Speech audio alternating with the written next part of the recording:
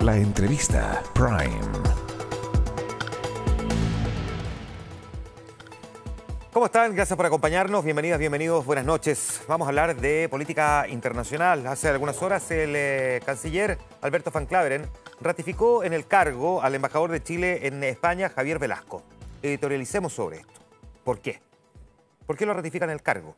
Se le ha comprado al presidente una serie de problemas a lo largo de estos años. Es sabido que es una figura muy cercana al mandatario, es sabido también que no cuenta con un destacado currículum diplomático como para haber eh, calificado de buenas a primeras a lo menos, aunque se entiende que es una designación de confianza del mandatario por lo tanto él puede escoger a quien quiere nombrar, pero que al mismo tiempo le ha traído varios problemas. Yo sé que no hay nada más, eh, más agotador a veces que tener que hacer el listado de ciertas cosas, pero al mismo tiempo nada más útil. Hay que recordar que nosotros ya tenemos un problema con España, al menos en términos diplomáticos cuando el día en que el presidente Boric asumió en el Congreso, ceremonia que partió tarde, el mandatario en un programa de televisión esa noche responsabilizó al rey de España de ese retraso porque dijo que había llegado tarde. Cuando en estricto rigor no fue así, nadie de protocolo le dijo al rey que debía bajarse el auto para entrar al Congreso Nacional. En España, ni le cuento cómo se rieron del presidente Boric, desde esa época que le dicen el merluzo, de allá viene, de España. Ese sobrenombre no se lo pusieron en Chile. Pero de ahí en adelante los problemas los ha presentado el embajador que en un foro abierto en España responsabilizó a la concertación del estallido social, dicho en simple. Subió fotografías a sus redes sociales, haciéndole cariño a los pies de su pareja en lo que aparentaba ser el auto oficial del embajador. Luego, comiendo langosta. Y como si fuera poco, no asistió a una invitación que el rey le extiende a todos los diplomáticos de España una vez al año y no con a nadie en su reemplazo, porque estaba de vacaciones. Y ahora último, con esta invitación a España a reemplazar prácticamente a Israel visto el conflicto que existe en el Medio Oriente y dado que la postura chilena es respaldar a los territorios palestinos. ¿Para qué voy a seguir si creo que el listado es bastante claro? ¿Por qué mantenerlo en el cargo? Dice la famosa frase en materia política, ¿no? Que los presidentes remueven a las personas cuando es más conflictivo mantenerlos que sacarlos, o sacarlos que mantenerlos. Si es más conflictivo para el presidente sacarlo que mantenerlo, es la razón por la cual lo deja pero pareciera que hoy día el embajador es sistemáticamente un conflicto. Le compró al mandatario una controversia que no necesitaba, estando en Europa, en una de las giras aparentemente más exitosas que ha tenido el presidente y sin explicación alguna, salvo la de me sacaron de contexto, que sirve para prácticamente cualquier excusa en materia política. El presidente debiese entender que cuando hay posibilidades de evitarse un problema, tiene que aprovecharla. En este caso, simplemente pareciera no estar aprovechándolo. Vamos a hablar de nuestras relaciones diplomáticas y de este tema a continuación con nuestro entrevistado. El ex ministro de Relaciones Exteriores, Ignacio Walker, que está con nosotros esta noche. ¿Cómo le va, Ignacio? Muchas gracias por estar con nosotros en la entrevista Prime de Mega Noticias Ahora. Bienvenido, buenas noches. Gracias. Buenas noches, Juan Manuel. Mucho gusto. déjeme preguntarle por lo último que hemos conocido, eh, porque vamos a hablar de cómo funciona hoy eh, este gobierno y en general nuestro país en materia de relaciones internacionales. Y hay un montón, un montón de temas que están sobre la mesa, pero quiero despejar rápidamente una de las controversias que hemos tenido en estos últimos días, nuevamente protagonizada por el embajador de Chile en España, Javier Velasco, pero que recibió finalmente el respaldo del ministro de, Relaciones Exteriores actual. Dijo que si bien ningún embajador tiene un estatus especial, sus dichos no se inscriben en una conferencia en defensa y al final básicamente dijo que se mantiene en el cargo. Mirado en, en en la lógica completa ¿no? de esta controversia, le pregunto directamente, si usted hubiese sido ministro, ¿cuál habría sido su criterio respecto a este embajador? Mire, es difícil, Juan Manuel, hacer esa comparación, pero la pregunta que yo me haría, tratando de responder, es la siguiente. ¿Qué hubiese pasado si un embajador de carrera hace estas declaraciones, las anteriores declaraciones, porque había como dos o tres situaciones complejas con el embajador Velasco, eh, yo creo que habría durado 24 horas en su cargo, ¿se fija? Entonces, la segunda pregunta, ¿hay aquí un estatus distinto de un embajador de carrera, de un embajador político? Eh, el embajador político, que además aquí hay una relación de amistad con el presidente Boric, ¿tiene mayor libertad para opinar? Entonces, porque la política exterior es una sola. ¿no? Entonces, esas preguntas yo creo que tiene que responderlas obviamente la Cancillería, la decisión la toma el presidente de la República, pero a mí lo que me extraña, Juan Manuel, es que de alguna manera el embajador Velasco en España como que le rayó la pintura al presidente Boric en su exitosísima gira a Europa. ¿no? Entonces, esas son las preguntas por lo menos que yo me hago. Ya, esto es un, eh, punto bien importante, porque además no es la primera vez que tenemos eh, algún, eh, algún problema desde el punto de vista del comportamiento de las declaraciones del, embajador. Más bien, ya estamos sumando varias, las recordábamos al comienzo del, programa, pero al mismo tiempo también en una relación con un país que es bien especial para, para, Chile. Habíamos tenido ahí unas disputas, de hecho todavía se mantienen, ¿no? Respecto a la postura chilena de este gobierno sobre la actualización de un acuerdo tan importante que mantenemos con, eh, con la Unión Europea. Tuvimos el impas cuando asumió este gobierno con el rey, cuando se le responsabilizó, el presidente Boric lo responsabilizó de que haya partido tarde la ceremonia de investidura en el cargo. Es decir, digo, son cuestiones que uno tiene que tabular y manejar con un poco más de delicadeza. Le pregunto si usted siente que eventualmente se ha descuidado un poquitito eso. Mire, yo, yo, respaldo en general a la Cancillería, el presidente de la República conduce la política exterior como jefe de Estado, pero como usted dice, Juan Manuel, Europa, piensa usted lo que acaba de ocurrir, estamos actualizando, eh, modernizando el Tratado de Asociación Política, Libre Comercio y Cooperación con Europa. Eh, un tratado que fue suscrito en el gobierno del presidente Lago. España para Chile, obviamente que es muy importante, pero a mí lo que me llama la atención es cómo estos ruidos, estos ripios, estamos en Europa, el mismo momento en que el presidente Boric está visitando Alemania, Francia, Suecia, Suiza. Entonces, yo creo que hay que tratar de evitar ¿no?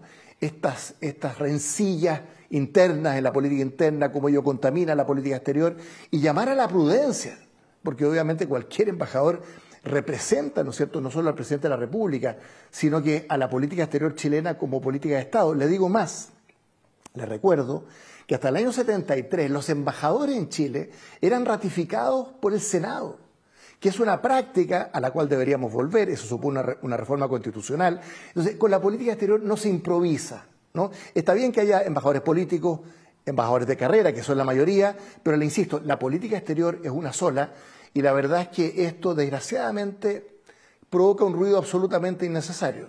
Ya, esta eh, situación ah, para el presidente, que probablemente no lo, no lo evalúa de la misma manera porque decide mantener al embajador, usted decía que de alguna manera le contaminó, le ensució un poquitito una gira que usted calificaba como muy exitosa. Miremos un poquitito esa gira y por qué considera que fue una gira exitosa. Estuvo acompañada de declaraciones del presidente que le trajeron repercusiones aquí en nuestro país, ya vamos a hablar de eso en un momento más, pero primero, en ese balance que usted hace, ¿por qué considera que es una gira tan exitosa? Por la importancia que tiene Europa para Chile. Imagínense lo que es Alemania para Chile, ¿no? con el presidente de la República, con el canciller, que es el jefe de gobierno, Olaf Scholz, ¿no? En lo que es Francia, el presidente Macron hoy día es un líder no solo europeo, sino que eh, un líder realmente global muy importante. Suecia siempre fue importante para Chile. En Suiza eh, fue, ¿no es cierto?, la, conferencia por la paz en Ucrania, que es un tema muy importante en el que ha habido mucha coherencia del punto de vista interno. Y además el canciller fue a Jordania a esta reunión, ¿no es cierto?, sobre Gaza sobre el tema palestino-israelí. Entonces, obviamente que la política exterior chilena, eso hay que entenderlo, está al servicio de una estrategia de desarrollo. Es el prestigio internacional de Chile lo que está en juego, que es algo muy importante, obviamente. El presidente Boric tiene un ganado prestigio internacional también. Ha sido coherente, siendo doble estándar en materia de democracia, de derechos humanos. Entonces, Europa son países aliados de Chile, en que hay una confluencia, una convergencia muy importante, y en ese sentido yo creo que no solo estos ruidos de las declaraciones del embajador, la pequeña rencilla, Juan Manuel, en la política interna, que las inundaciones, que si tiene que suspender la visita o no tiene que suspenderla. Entonces hay que asumir como país, en medio de tanta polarización, fragmentación, que la política exterior tiene que estar por encima de estas pequeñas rencillas, de estos dimes y diretes, de estas trincheras, esta política del metro cuadrado que tenemos en Chile. Y creo que eso contamina todo, ¿no? Y, le quita un poco eh, la importancia que tiene la política exterior. Porque ¿cuál es el argumento de Chile en el mundo? Su coherencia. ¿Por qué somos respetados en el mundo? Porque este es un país coherente. ¿no? que más allá del color, político de los gobiernos de turno, obviamente existe, ¿no es cierto?, una, una dimensión estratégica de mediano y largo plazo de un país que se ha insertado en el mundo y eso está al servicio del desarrollo nacional. Déjeme preguntarle, porque también he, escuchado quienes tienen voces críticas de uno y otro lado, ¿ah? no me refiero a políticos, sino que quienes analizan esto, que señalan que si bien Chile tiene una posición en apariencia bastante clara respecto a algunos, eh, de algunos temas, ¿no? Y por lo tanto esa coherencia que usted describe, al mismo tiempo pareciera entrar en ciertas contradicciones. Por ejemplo, eh, hemos visto sistemáticamente a todos los presidentes, desde 1990 hasta la fecha, tener una posición bastante clara y categórica en materia de derechos humanos. Pero cuando hay que hacerle doble clic a algunas relaciones, como por ejemplo las de, que, las de Chile con China, es bastante asimétrico respecto de otros países con los que no tenemos ese intercambio comercial tan relevante. O las críticas que, por ejemplo, le escuchamos a este gobierno respecto de Venezuela, pero que en realidad en la práctica no vienen acompañados de actos concretos que hagan sentir la falta de democracia en ese país. Lo que pasa es que hay distintos planos, Juan Manuel. El plano más importante de las relaciones internacionales son los temas de paz y seguridad.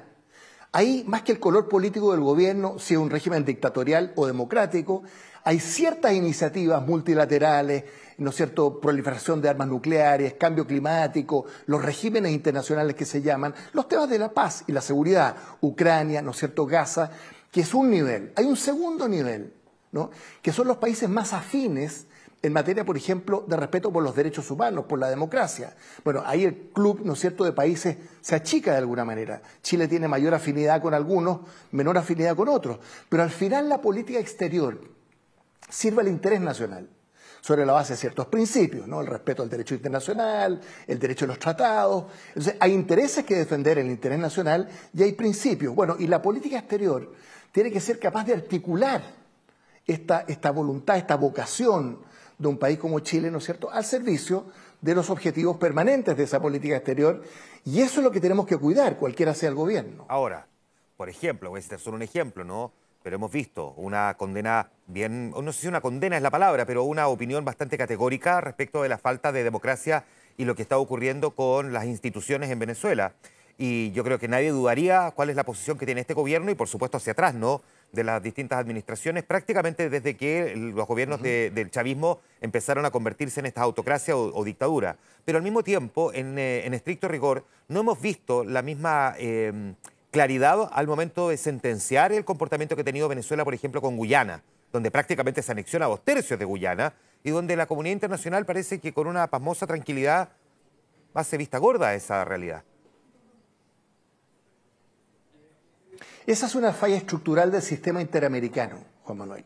Desgraciadamente nosotros como región, como subregión, está en la proliferación de mecanismos de integración regional, subregional, ¿no? la OEA, eh, UNASUR, la CELAC, eh, la Alianza del Pacífico, Mercosur, CARICOM, SICA, ahí le he nombrado seis o siete. ¿ah?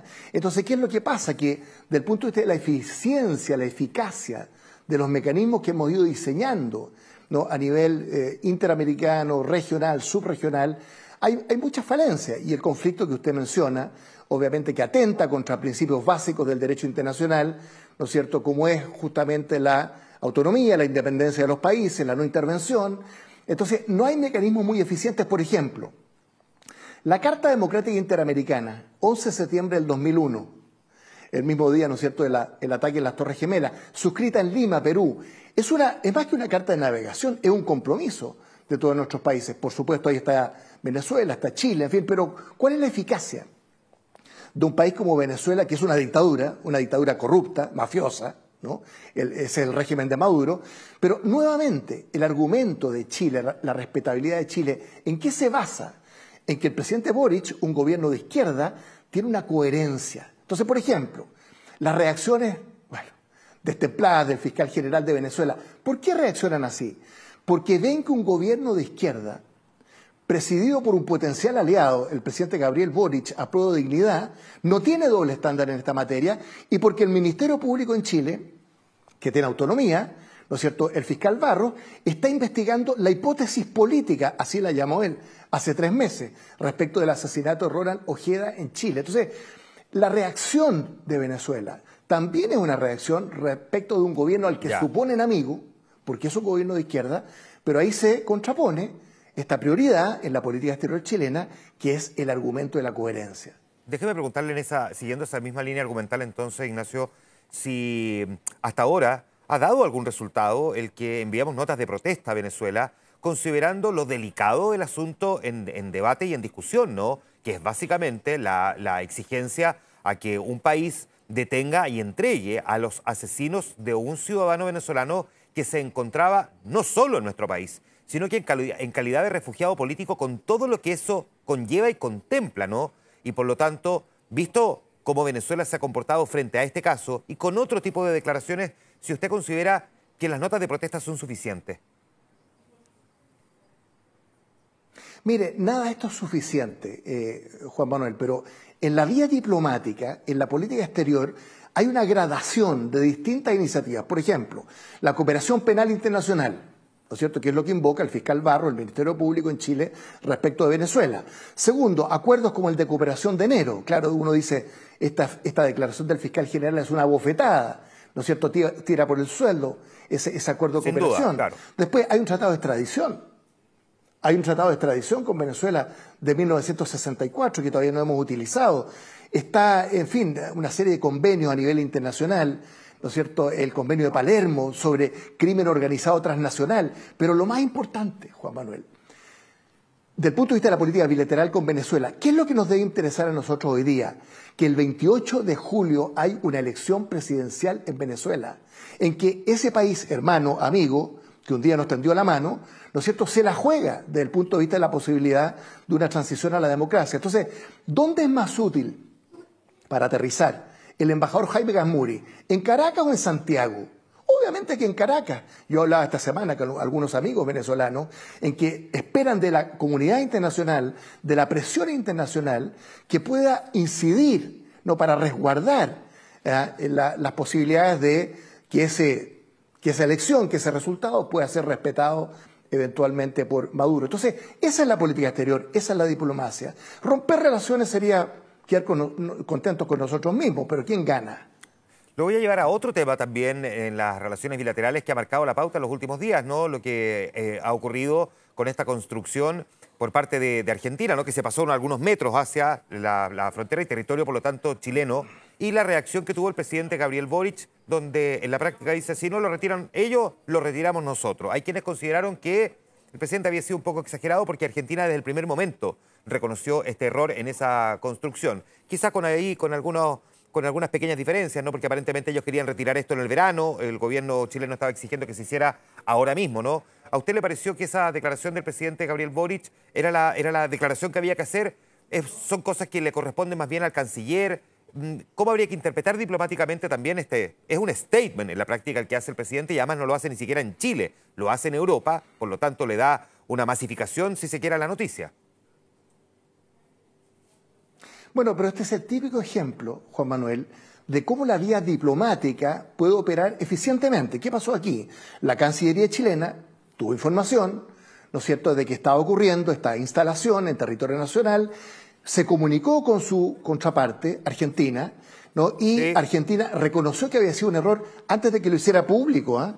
O sea, esto fue, me pasa que hubo una radio, ¿no es cierto?, que sacó esta noticia y eso fue lo que eh, eh, levantó las alarmas, ¿no? Ignacio... Pero por la vía diplomática, en 48 horas, sí. Sí, perdona que me interrumpa ahí, pero A mí lo, no, dígame. Sí, a mí lo que me preocupa, y deje, no, no, es lo que me preocupa a mí, que a, la gente le pueda lo mismo que si me preocupa a mí o no, pero lo que debería preocupar, y yo le pregunto a usted, es el por qué se está construyendo un puesto de vigilancia ahí en la boca oriental del estrecho de Magallanes. Y se lo pregunto por lo siguiente, porque a los que nos gusta la historia, a usted a mí nos gusta la historia, el Tratado de 1881 define nítidamente que el estrecho de Magallanes es chileno, pero desde comienzo del siglo XX que hemos visto argentinos que dicen que si bien el, tratado, el estrecho es chileno, la puerta de entrada del estrecho es argentina y por lo tanto debería ser de administración conjunta. Y hace algunos años, que no son tantos, el 2021, vimos el famoso decreto 457 del gobierno del presidente Fernández, en el que decía que había que seguir fortaleciendo el control conjunto del estrecho de Magallanes, lo que motivó incluso el envío de una nota de protesta por parte de Chile. Y ese decreto sigue existiendo hasta el día de hoy. ¿Nos debería preocupar realmente lo que está pasando en el estrecho de Magallanes, más allá de que se hayan pasado tres metros con algunas construcciones? Mire, Chile siempre ha adherido al derecho de los tratados, un aspecto central del derecho internacional.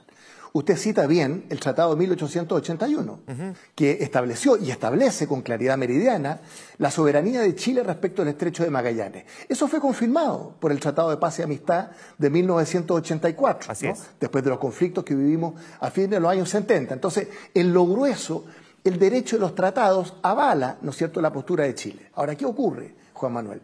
Que al interior de las cancillerías, también de Argentina, a veces hay sectores ¿no? que tratan de escalar ciertos conflictos, crear artificialmente ciertos episodios, que crean, ¿no es cierto?, una, que encienden las alarmas. Y eso, bueno, desgraciadamente, en nuestra realidad vecinal, con Perú, con Bolivia, con Argentina, históricamente, ¿no es cierto?, ha ocurrido y seguramente seguirá ocurriendo. Por otro lado, Chile tiene 4.000 kilómetros de frontera con Argentina. Entonces, de repente un episodio como esto, que es menor en sí mismo, ¿no? es un poco más grave cuando se eh, inserta ¿no es cierto? En, este, estos episodios, conflictos que se van creando en distintos momentos. Pero Chile tiene una posición muy sólida respecto del estrecho de Magallanes. ¿Y por qué? Nunca hemos tenido una guerra con Argentina, ¿no es cierto?, a lo largo de nuestra historia, a pesar de esta frontera común, a diferencia de Bolivia, Argentina. Entonces, lo que yo quiero decir, el argumento de Chile central es de coherencia, es de respetabilidad. ¿Qué ha hecho Chile históricamente, Juan Manuel? Ha coordinado el elemento defensivo disuasivo, la seguridad, la defensa, y la vía diplomática el derecho internacional, el derecho de los tratados, los tratados bilaterales, estos dos con Argentina. Y yo creo que esa tiene que ser invariablemente la postura, la política exterior chilena con Argentina, con Bolivia o con Perú. La primacía del derecho internacional, del derecho de los tratados y estos tratados vigentes con los tres países, ¿no es cierto?, que han permitido que la vía diplomática permita que haya un escalamiento de este tipo de episodios ¿no es cierto?, que al final son bastante irrelevantes en sí mismos. Voy a cruzar eh, dos temas que básicamente lo, llevan a usted o lo, confrontan, digamos, con dos de sus grandes áreas de expertise, ¿no? Que es eh, precisamente las materias diplomáticas, pero al mismo tiempo también su experiencia política, porque tuvimos al presidente Gabriel Boric participando en una cumbre por la paz eh, respecto de Ucrania, fue uno de los oradores principales, de hecho invitado a participar como tal, lo que por cierto destaca y luce mucho a nuestro país y al propio presidente de la República, ¿no? Pero al mismo tiempo hemos visto, y en una cuestión que probablemente llama mucho la atención, que uno de los partidos de gobierno salió a cuestionar bien duramente, al menos alguno de sus integrantes, al mandatario por participar de, esta, cumbre, ¿no? del Partido Comunista, que tienen una posición, digámoslo así, bien distante de la, de la, de la postura ucraniana y donde fundamentalmente dicen que Ucrania, voy a decirlo así, casi parafraseándolo, ¿no? Le sigue el juego a la OTAN, que está básicamente en una carrera armamentista por el mundo.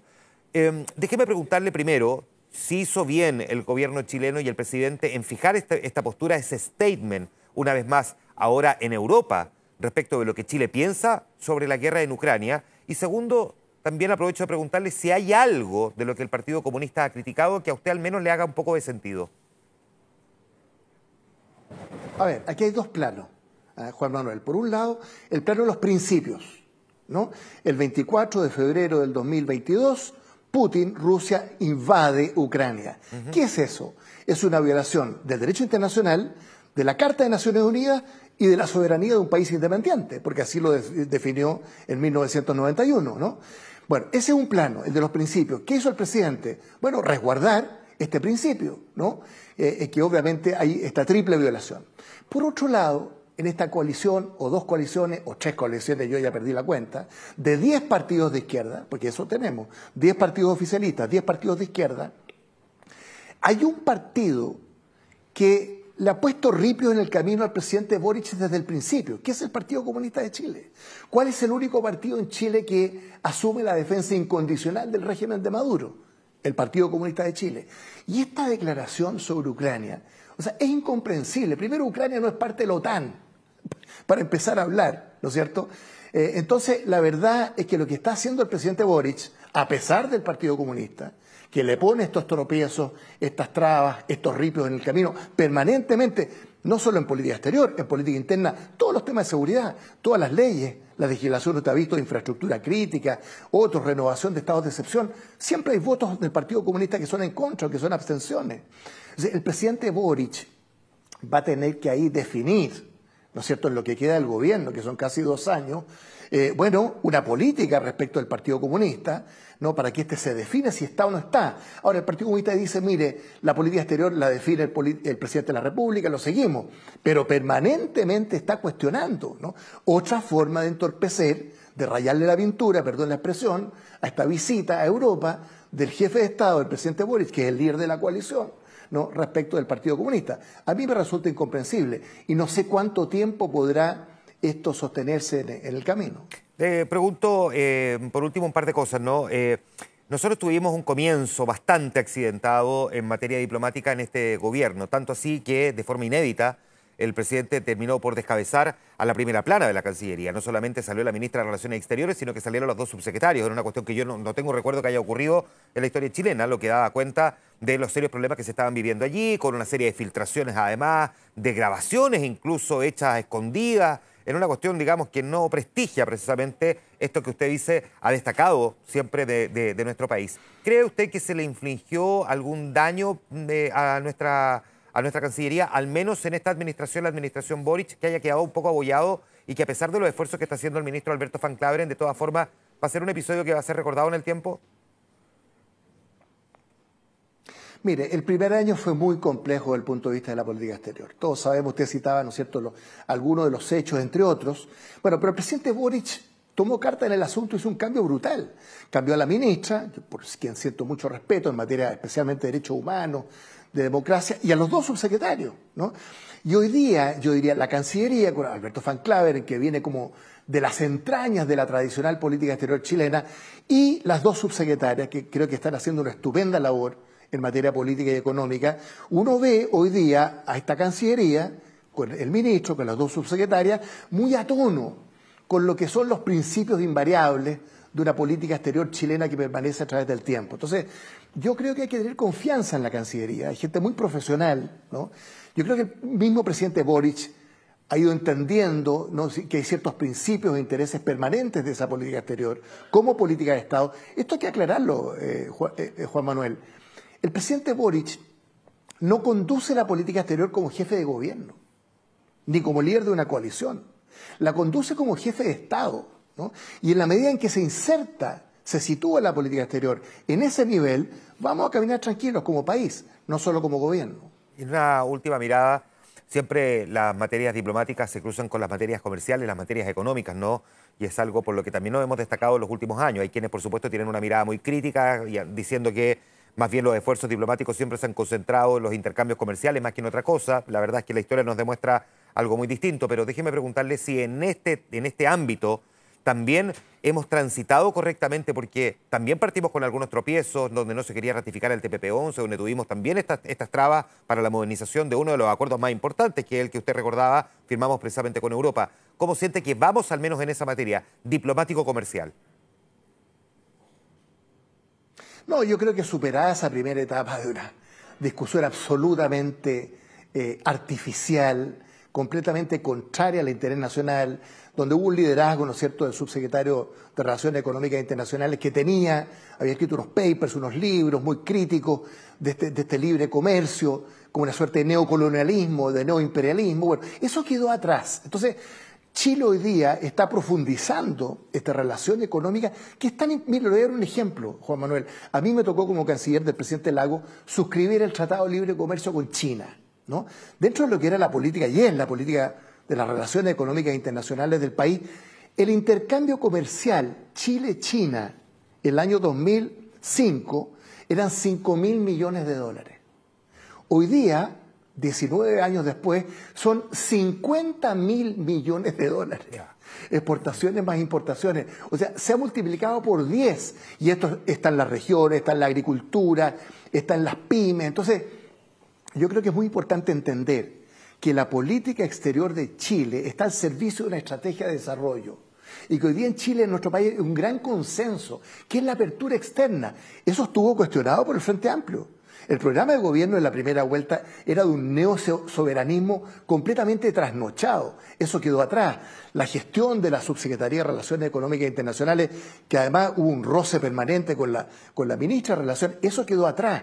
Entonces, hoy día yo siento que en el gobierno hay clara conciencia de que la política exterior está en ese nivel, a servicio de los intereses permanentes de Chile, sobre la base de ciertos principios por supuesto, está Ucrania, está Gaza, todo lo que hemos revisado. Eh, y en ese sentido, yo, a pesar de todos los ruidos, ¿no es cierto?, rencillas de esta semana, yo creo que el balance es positivo en cuanto a entender que hay que perseverar por el camino sólido de esa política exterior entendida como una política de Estado. Ignacio Walker, exministro de Relaciones Exteriores, conversando esta noche con nosotros en la entrevista Prime de Mega Noticias Ahora. Muchísimas gracias, Ignacio, por estar con nosotros. Buenas noches. Muchas gracias a usted, Juan Manuel. Buenas noches. Buenas noches. Y a ustedes también por acompañarnos, como siempre, en estas ediciones de la entrevista Prime. Hasta la próxima, que esté muy bien.